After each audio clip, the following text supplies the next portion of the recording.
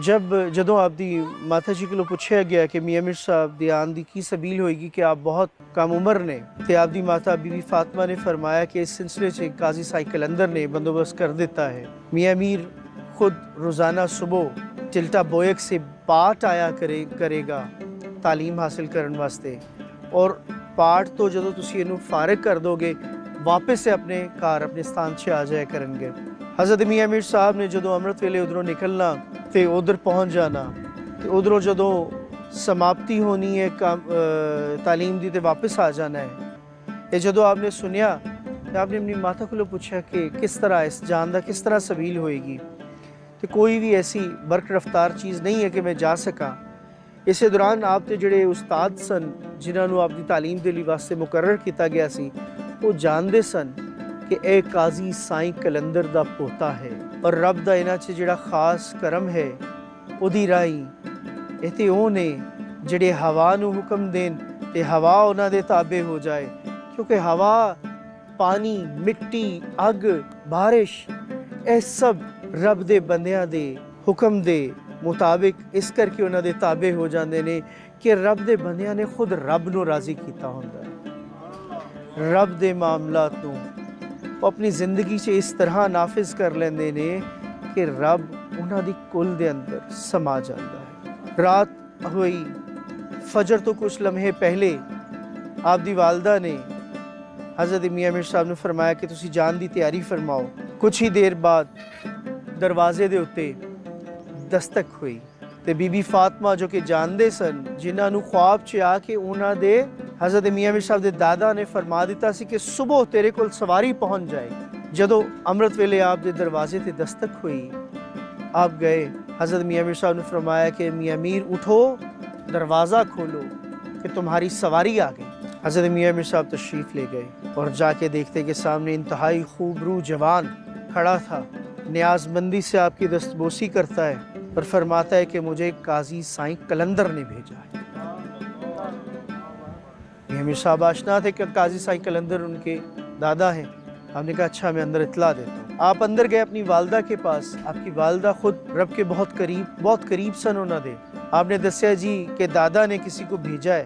تے آپ دی ماتا be be Fatima نے اے نہیں پوچھا کون ہے کدھروں آیا، کس طرح؟ آپ نے کہا، ٹھیک ہے، اس کو جاؤ، لے جاؤ، وہ تمہاری سواری آئی ہے، اس کو اندر استبل میں باندھ۔ آپ کے چہرے پہ وہ تعجب کے اثرات نمودار ہو گئے کہ باہر تو ایک خوبرو جوان ہے، کیسے سواری کہا جاتا؟ خیر، آپ نے سوال نہ کیا، گئے، دروازہ کھولا تو ایک گھوڑا، بہت ہی خوبرو گھوڑا، وہ سامنے۔ تاریخ میں اس کے دو رنگ بولے جاتے ہیں۔ پہلا تو سفید ہے، جس پہ بہت سے ہمارے خاندان کی روایات کا اتفاق ہے کچھ براؤن کہتے ہیں، مگر وہ سفید پہ ہم اس کو کرتے ہیں۔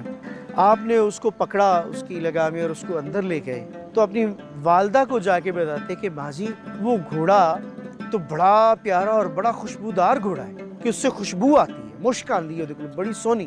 خیر، آپ تیار ہوئے، آپ نے، آپ دی والدہ نے آپ جس سے دستار سجائی، آپ کوڑے دے اتے بیٹھے۔ تے کوڑے نے جدو رفتار پھڑی تے حضرت میاں میر صاحب نے اتفاق کھا یہ بند کر لی کیونکہ آپ چھوٹے بچے سے تے کچھ ہی آن کی آن میں یعنی کہ کچھ ہی دیر میں وہ گھوڑا پاٹ سے تلٹا بویک پہنچ گیا۔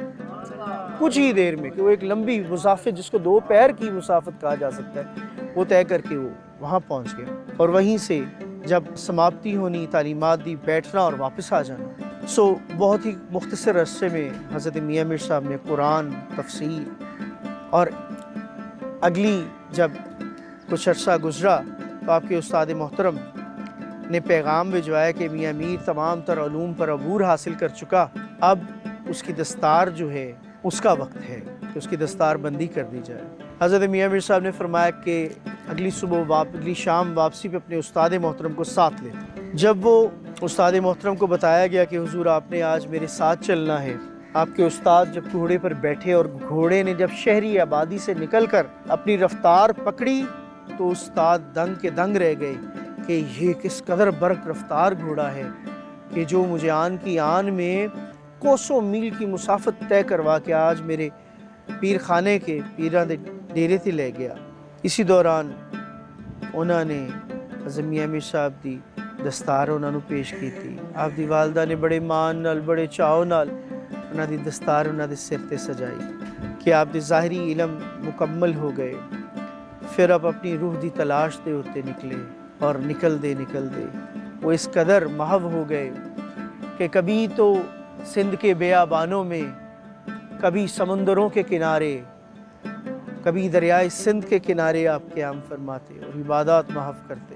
سیون میں آپ کے پیر و مرشد حضرت خضر عبدال بیابانی، آپ نے ان سے قصب فیض کیا، بیت اختیار کی اور وہاں سے آگے لاہور کی طرف رخصت اختیار کی۔ عبادات و ریاضات کا وہ عالم تھا کہ چار دانگ دو عالم میں آپ کی عبادات تے ریاضات دی ایسا چرچا، ایسی دھوم پھیلی اور رب دی مخلوق نو اس قدر شفاواں ورنیاں شروع کیتیاں۔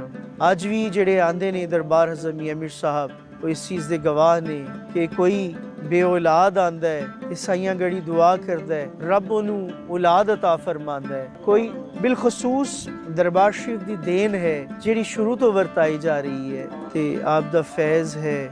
جڑا ہمیشہ چلدا رہے گا۔ حضرت میاں امیر صاحب دی تعلیمات چھے، آپ دی زندگی چھے، آپ دینا ساریاں چیزاں دے اندر رب تے نور اس قدر پریا ہویا ہے۔ جے میں ویکا املا ولے تے کچھ نہیں ہو میرے پلے۔ ہو جے ویکا او سیاں تیری رحمت ولے تے بلے بلے بلے۔ جے ویکھاں میں تیری رحمت والے، تے بلے بلے بلے۔